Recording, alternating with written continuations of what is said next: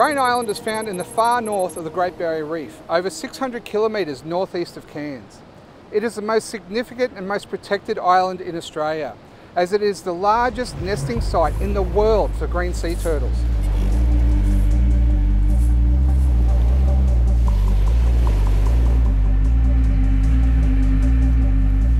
It's also the largest nesting site for seabirds on the Great Barrier Reef and is one of the largest aggregations of tiger sharks known.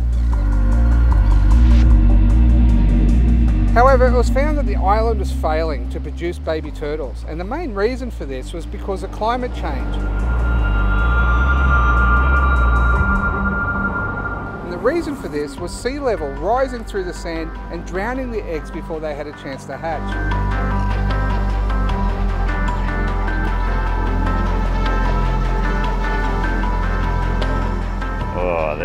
See the whole undeveloped hatchling.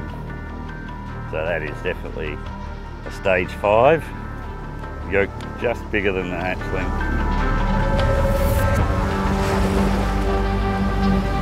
In what was the most protected island on the Great Barrier Reef, it was decided to change the beach profile by taking large-scale excavating equipment up on barges during the winter months to reshape the height of the sand. Seven metres of sand was taken from the edge of the beach and put on top. On the first year, a 100 by 150 metre zone was done. On the next year, this area was monitored.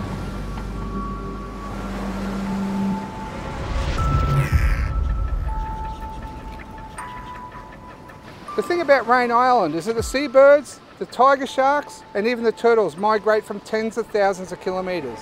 And so we were able to affect change on a tiny island that has a major impact now over a huge biogeographic range.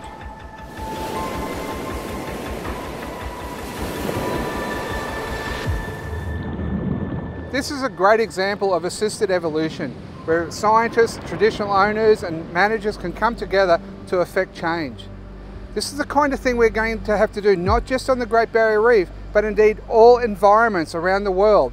So we can keep small areas protected to keep that biodiversity there. These can act as the seed banks for all the environments to recover.